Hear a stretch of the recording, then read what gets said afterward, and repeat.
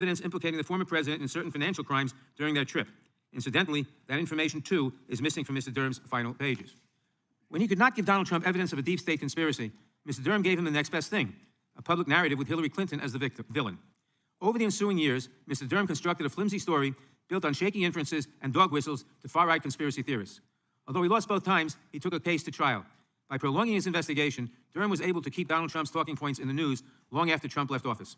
With a loose approach to DOJ norms, protecting the reputation of the agency, and a cavalier disregard for the privacy and reputational rights of others, Mr. Durham's investigation operated as headline generator for MAGA Republicans. Less than half a year into his four year investigation, Mr. Durham publicly disputed Inspector General Horowitz's conclusion that the FBI was warranted in opening a full investigation, in violation of DOJ rules protecting investigations from appearances of political bias. Mr. Durham similarly flouted guidelines designed to protect third parties from reputational injury when he used his two indictments to accuse the Clinton campaign of a vast conspiracy to tie Trump to Russia. But at the end of the day, Mr. Durham never found what he was looking for. He cannot dispute a single conclusion in the Mueller report. He cannot prove a magnificent deep state conspiracy. And he cannot say that the FBI investigation into the Trump campaign's many ties to Russia never should have happened. And again, I can see why this would be disappointing to some. But instead of owning up to his failure, the Durham report doubles down on theories that lost spectacularly before two unanimous juries. The report also references classified material that has been called likely disinformation to lay out a series of accusations against the former president's perceived enemies. By presenting his so called findings in this way, swiping a Republican boogeyman and hiding an inconvenient truths in footnotes, the Durham report gives Donald Trump one last talking point. It did not have to be this way. It may be hard to remember, but at the outset of the Durham investigation, Mr. Durham was a well respected career prosecutor with a solid reputation. The Attorney General is supposed to appoint a special counsel to prevent the appearance of politicization in a criminal investigation. Mr. Durham could well have lived up to that expectation. Instead, what we got was a political exercise that operated with ethical ambiguity and existed to perpetuate Donald Trump's unfounded claims. The investigation failed in its political objectives, but did real damage to a department that is still recovering from the excesses of the Trump administration. And despite Mr. Durham's best efforts, a reckoning is well underway. Do not be misled. Former President Donald Trump is not a victim. He did this to himself. For all of its flaws, the Durham report does not show that anyone else is responsible for the president's legal woes, past, present, or future. Anyone who tells you otherwise is simply making it up. I thank the chairman, and I yield back. Without objection, all other opening statements will be included in the record. Today's witness is the Honorable John Durham. Mr. Durham was appointed as a special counsel in 2020 to investigate intelligence activities, investigations arising out of the 2016 presidential campaigns. He is a career prosecutor, having served as a U.S. Attorney for the District of Connecticut and in various other roles with that office since 1989. Prior to that, he served with the Department of Justice, the Boston Strike Force on organized crime, and in various state-level prosecutors' offices. We welcome our witness uh, and thank him for appearing today. We will begin by swearing you in. Would you please rise and raise your right hand, Mr. Durham? Do you swear or affirm under penalty of perjury that the testimony you're about to give is true and correct to the best of your knowledge, information, and belief, so help you God? Let the record show that the witness has answered in the affirmative. Thank you. You may, you may be seated. Please know that your written testimony will be entered into the record in its entirety. Accordingly, we ask that you summarize your testimony in five minutes, but we'll give you a little extra time if you need it. Mr. Durham, you may begin. Hit your mic there, Mr. Durham, and just, just keep it on if you can throughout the, throughout the day. Oh, is it on? Yep, it's on now. Thank you. Again, uh, good morning, um, Chairman Jordan, Ranking Member Nadler, and members of uh, this committee. As the committee knows, on May 13, 2019, Attorney General Barr directed me to conduct a preliminary review into certain matters related to federal investigations concerning the 2016 presidential election campaigns. That review subsequently um, developed into several criminal investigations and gave rise to my subsequent appointment as special counsel in these matters. Many of the most significant issues documented in the report that we have written, including those relating to lack of investigative uh, discipline, failure to take logistical, logical, investigative steps, and bias are re uh, relevant to important national security interests that this committee and American people are concerned about. If repeated and left unaddressed, these issues could result in significant national security risks and further erode the public's faith and confidence in our justice system.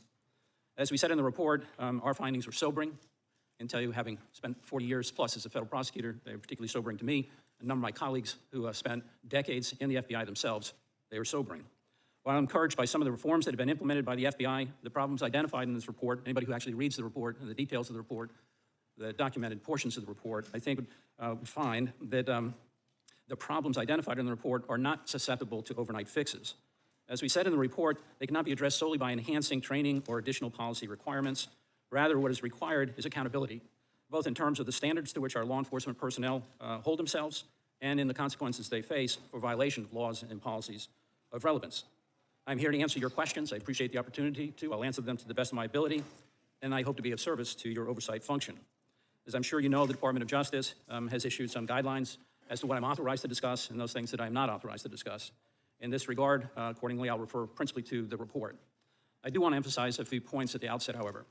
First, I want to emphasize in the strongest terms possible that my colleagues and I carried out our work in good faith, with integrity and in the spirit of following the facts wherever they lead, without fear uh, or favor. At no time and in no sense did we act with a purpose to further partisan or political ends. To the extent that somebody suggests otherwise, that's simply untrue and offensive. Second, the findings set forth in this report are serious and deserve attention from the American public and its representatives. Let me just briefly highlight a few of those. For one, we found troubling violations of law and policy in the conduct of highly consequential investigations directed at members of a presidential campaign and ultimately a presidential administration. To me, it matters not whether it was a Republican campaign or a Democrat campaign. It was a presidential campaign.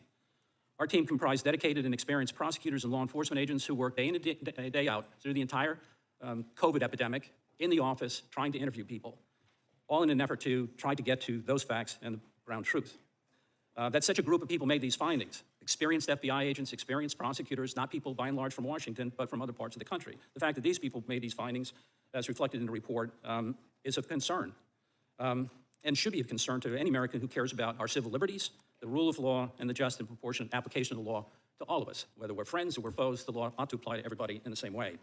During our investigation, we charged a former FBI agent who pleaded guilty to the felony offense of altering and fabricating a portion of a document used to obtain a court order a FISA order of surveillance of a United States citizen, which in our view is a significant problem.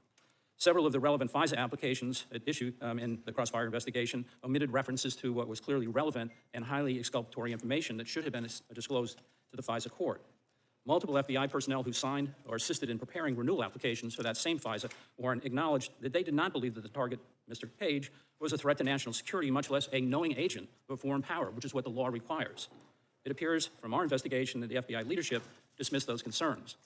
Another aspect of our findings concerned the FBI's failure to sufficiently scrutinize information it received or to apply the same standards to allegations it received about the Clinton and Trump campaigns.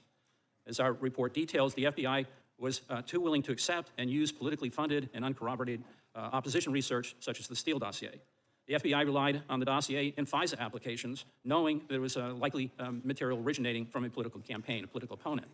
It did so even after the President of the United States, the FBI and CIA directors, and others received briefings about intelligence suggesting that there was a Clinton campaign plan underway to stir up a scandal tying Trump to Russia. The accuracy of the intelligence was uncertain at the time, but the FBI failed to analyze or even assess the implications of the intelligence in any meaningful way. When the FBI learned that the primary source of information for the Steele dossier, which was basically the guts of the narrative about there being a well um, uh, coordinated conspiracy involving Trump and the Russians, when they learned that uh, Danchenko was the um, uh, primary subsource uh, for those reports, it was at the time when the FBI already knew that Danchenko himself had previously been the suspect of an FBI espionage investigation. He was suspected of being a Russian asset. Um, and nonetheless, they signed him up as a paid informant without further investigation of that espionage concern, to say nothing of resolving that espionage matter before using Danchenko and Danchenko's information. And when the FBI and Special Agent Mueller's office learned that Steele's primary subsource likely had gathered important portions of the dossier information uh, during travels to Russia with uh, one Charles Dolan, it inexplicably decided not to interview Dolan uh, or investigate his activities. Finally, I would like to add that although our work exposed uh, deep concerns um, concerning facts about the conduct of these investigations, our report should not be read to suggest in any way that Russian election interference was not a significant threat. It was. Nor should it be read to suggest that the investigation, um, the investigative authorities at issue uh, no longer serve important law enforcement and national security interests. They do. Rather, responsibility for the failures and transgressions that occurred here rests with the people who committed them or allowed them to occur. Again, to my mind, the issues raised in the report deserve close attention from the American people and their elected representatives here in Washington. Thank you, Mr. Chairman. Thank you, Mr. Durham. Uh, the, we will now proceed under the five-minute uh, rule for questions. The chair now recognizes the gentleman from Louisiana, Mr. Johnson. Thank you, Mr. Chairman, Mr. Durham, for being here today. This is much anticipated. We have lots of questions for you. I'll try to set the table here at the outset uh, from 20,000 feet. The American people rely on the FBI to abide by its guiding principles, and you know what those are fidelity, bravery, and integrity. And we rely upon them to uphold the Constitution and protect the American people. Americans deserve and expect from our premier law enforcement agency to apply justice blindly, and that is without political bias or ulterior motives. However, your report now famously states, and here's the big quote based on the review of Crossfire Hurricane and related intelligence activities, you concluded that the DOJ and FBI failed to uphold their important mission of strict fidelity to the law. There's no, way, another, no other way to put this. The report illustrates egregious actions on behalf of the FBI that have further eroded faith in our institutions. Ms. Durham, in your report, and again here today, you said that your findings and conclusions are sobering. Could you unpack a little bit more what that means? Why do you say sobering? Well, let me, let me um, give you some uh, real life um, views on that.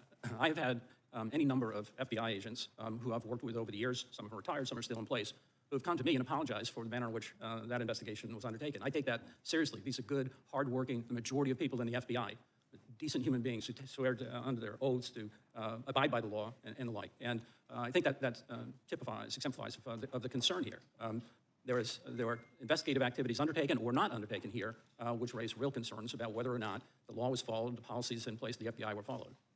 Um, you wrote in your report, quote, based on the evidence gathered in the multiple exhaustive and costly federal investigations of these matters, including the instant investigation, neither U.S. law enforcement nor the intelligence community appears to have possessed any actual evidence of collusion in their holdings at the commencement of the Crossfire investigation. To date, has any evidence of collusion between the Trump campaign and Russia ever been uncovered?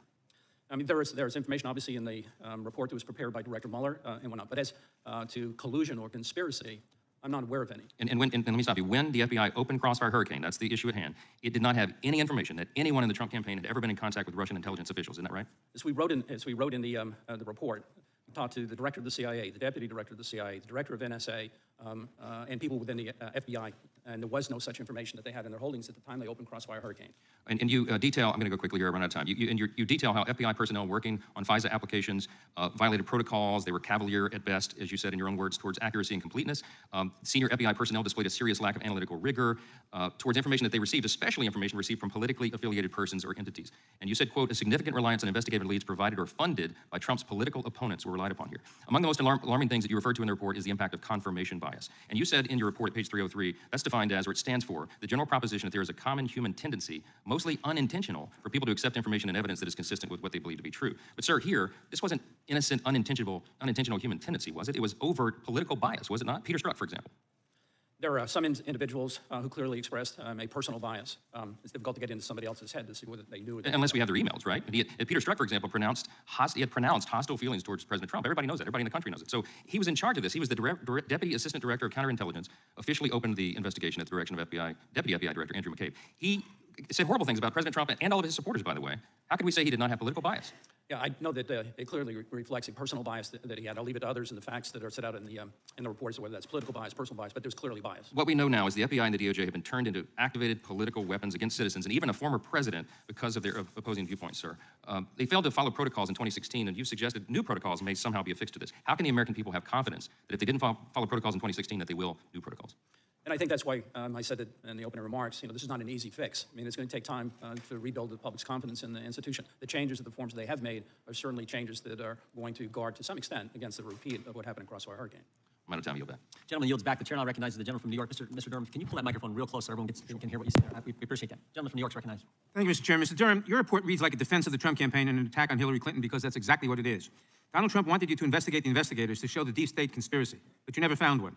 Instead, you gave him and his MAGA Republicans the next best thing, someone else to blame for Donald Trump's problems. That's why you're here today, because the chairman and his colleagues need someone, anyone, to deflect from the mounting evidence of Trump's misconduct. Let me remind you that Donald Trump was federally indicted on 37 counts for mishandling classified information. 37 counts. That's why you're here today, not because of anything that happened in 2016. Ms. Durham, your investigation cost more than $6.5 million, involved the work of dozens of FBI employees and federal prosecutors, some of whom resigned in protest, and took roughly four years to complete. Is that correct? No, It's not correct. no, I mean, there were multiple parts of that. Did it take four years to complete? Correct. Okay. And with all these resources and all these people you, you were sent to help you investigate the investigators, you only filed three criminal cases. You only brought two cases to trial, correct? Correct. And you lost all the cases you brought to trial, correct? Correct. In fact, two juries acquitted your defendants on all charges. And the one conviction that you obtained, the defendant pleaded guilty to a single count and never went to trial, correct? Correct. I will note that in that case, the primary investigative steps were all completed by Inspector General Horowitz. Perhaps you were better when it came to your report. From my reading, your report did not make any specific concrete recommendations to improve DOJ or FBI policies or procedures. In fact, your report repeatedly references the recommendations made by Inspector General Horowitz, almost all of which DOJ and FBI have already implemented. Again, your investigation lasted four years. Four years and untold sums of money, and you still obtained only one conviction. You did produce a 300 page report, though, and that's given my Republican counterparts plenty of material to spin. Mr. Durham, George Papadopoulos was a foreign policy advisor to the Trump campaign in spring 2016. Isn't that right? Correct. And in May 2016, he told an Australian diplomat that the Trump team had received some kind of suggestion from Russia that it could assist this process with the anonymous release of information during the campaign that would be damaging to Secretary Clinton. This is a fact that came out during the Mueller investigation, and your investigation found nothing to dispute this fact, correct? There's more detail to that in the report. Did it find anything to dispute this report, to dispute this fact? No. Okay. On page 50 of your report, you, report that, you, you wrote that on July 28, 2016, FBI headquarters received the Australian information that formed the basis for the opening of Crossfire Hurricane, correct? Correct. So this fantasy that some MAGA Republicans have created, where the investigation was started for any reason other than a Trump campaign operative bragging to Australian intelligence assets about Russian dirt that would damage Hillary Clinton, is not true. And when the FBI received that information, according to your report, it had not just the predication to investigate, there is no question, you wrote, that the FBI had an affirmative obligation to closely examine the Australian information. Isn't that right? The FBI had an obligation to examine. That's correct. So the origin of the investigation was not the Steele dossier. It was not Alfa Bank. It was a Trump aide's loose lips about his campaign's advanced view into a hack that had a profound effect on the 2016 election. That information supplied by the Australian government gave the FBI predication to begin an investigation.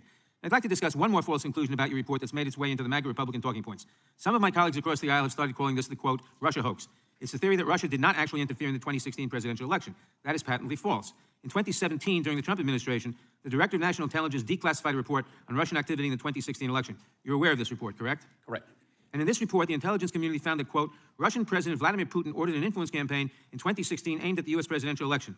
Russia's goals were to undermine public faith in the U.S. democratic process, denigrate Secretary Clinton, and harm her electability and potential presidency. We further assess Putin and the Russian government developed a clear preference for President-elect Trump, close quote. You did not dispute that Trump ordered an influence campaign to influence the 2016 election in your report, did you? As I said, there was a real Yes or Russian no? threat. No, okay. Special Counsel Mueller indicted 12 Russian intelligence officers in July 2018, isn't that right? Correct. Tw- the 12 intelligence officers were indicted for attacking the Clinton campaign. On page 55 of your report, you acknowledge that at a press conference in 2016, Donald Trump on camera said, Russia, if you're listening, I hope you're able to find the 30,000 emails that are missing. Is that correct? That's correct. And two years later, at the Helsinki Regular order. summit, Trump told the press that he believed Russian President Putin over his own intelligence officials when he told them Russia did not interfere during the 2016 election uh, season. I see my time time's expired. I yield back. Witness can respond if he chooses to. Chair now recognizes the gentleman from South Carolina, Mr. Fry, for five minutes. Thank you, Mr. Chairman. We are here today to provide transparency, finally, to the American people. Seven years ago, the FBI launched Crossfire Hurricane, the left's brazen attempt to keep Donald Trump out of the White House. This federal investigation, funded by the Hillary Clinton campaign, caused Americans to believe that then candidate Trump was colluding with Russia in order to win the 2016 presidential election. Mr. Durham has spent four years investigating this 480 witnesses, 6 million pages of documents, 190 subpoenas, and executing seven search warrants. Less than a month ago, he completed this report um, that instigated a baseless investigation and launched partisan attack on President Trump despite having no true justification to do this. That was the FBI. Within three days of receiving the information from a diplomat in Australia, the FBI opened a full fledged investigation into the Trump campaign. So, Mr. Durham, let's get into this. The FBI opened up Crossfire Hurricane without speaking to the people who provided the initial information. Is that true? That's correct. The FBI opened Crossfire Hurricane on a Sunday, only three days after reviewing that information. Is that correct? That's correct. So just think about that for a moment. An investigation, a full investigation into a presidential campaign over a weekend. Mr. Durham, the FBI opened Crossfire Hurricane without interviewing any of the essential witnesses. Is that true? That's true. And the FBI also opened up Crossfire Hurricane without using any of the standard analytical tools typically employed to evaluate that evidence. Is that true? That's true. So think about that. The FBI never talked to the people who gave them the intelligence information. They never examined their own witnesses. They never interviewed the witnesses. They never corroborated the dossier. Mr. Durham, if the FBI had done these things, if they had done their homework, would it have found that its own Russian experts had no information about President Trump being involved with Russian leadership or Russian intelligence officials? Yes. So then, was there adequate predication?